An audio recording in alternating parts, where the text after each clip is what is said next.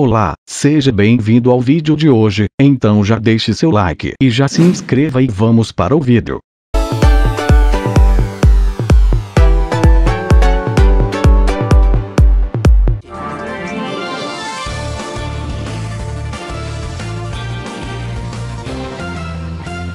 Copa de 2026, com 48 seleções, será disputada nos Estados Unidos, México e Canadá.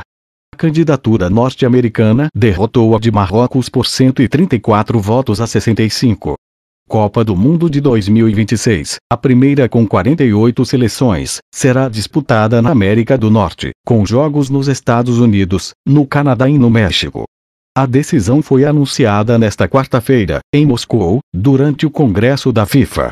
A candidatura liderada pelos Estados Unidos teve 134 votos, contra 65 votos do Marrocos, que contou com o voto do Brasil, embora a CBF tenha declarado anteriormente voto na candidatura vencedora. A candidatura marroquina foi derrotada em sua quinta tentativa de organizar a Copa do Mundo. Uma confederação votou para nenhuma candidatura, e ainda houve três abstenções.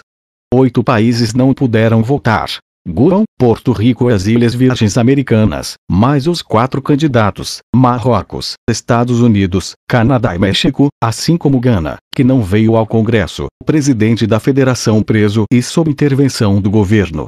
A edição de 2026 vai marcar o início de um novo modelo de Copa do Mundo, com mais participantes, mais jogos, mais estádios e mais países organizadores. Em vez dos atuais 32 times, divididos em oito grupos de quatro, o Mundial terá 48 participantes, divididos em 16 grupos de três. Os dois primeiros de cada chave avançam aos mata-matas, que terá uma fase a mais do que hoje. O novo formato da Copa do Mundo vai obrigar a FIFA a redesenhar as eliminatórias, já que todas as confederações terão mais vagas do que tem hoje.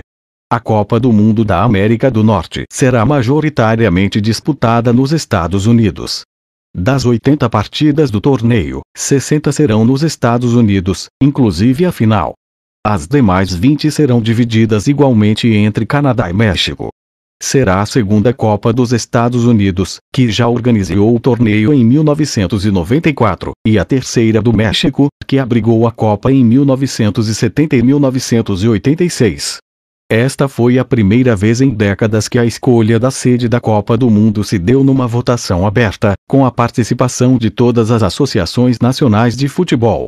As sedes dos Mundiais de 1990 a 2022 foram escolhidos pelo 24 integrantes do Comitê Executivo da FIFA, hoje rebatizado de Conselho da FIFA.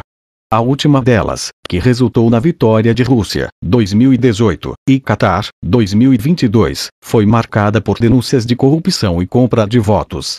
A eleição desta quarta-feira teve os votos de cada país tornado público imediatamente num telão no centro de convenções onde ocorreu o Congresso da FIFA. Para convencer os eleitores, a candidatura da América do Norte prometeu lucro recorde para a FIFA e para as associações nacionais. Numa apresentação de 15 minutos para a plateia do Congresso da FIFA, o presidente da Federação Americana de Futebol, Carlos Cordeiro, prometeu uma arrecadação de 15 bilhões, com lucro de 11 bilhões. Como comparação, a Copa do Mundo de 2014 teve faturamento de 4,8 bilhões de dólares. A disputa pelos votos foi marcada pela sombra do presidente americano, Donald Trump, os marroquinos usaram a postura agressiva do presidente americano para convencer eleitores. O próprio Trump se envolveu pessoalmente na campanha americana. Ele escreveu cartas ao presidente da FIFA, Gianni Infantino, na qual prometeu conceder vistos sem preconceitos para atletas, dirigentes e fãs de todos os países que disputarem a Copa. A Copa do Mundo de 2022 será disputada no Catar. Para 2030, só há uma candidatura oficialmente lançada por Argentina, Paraguai e Uruguai. É provável que China e Inglaterra também se lancem. Não há data prevista para a FIFA tomar essa decisão.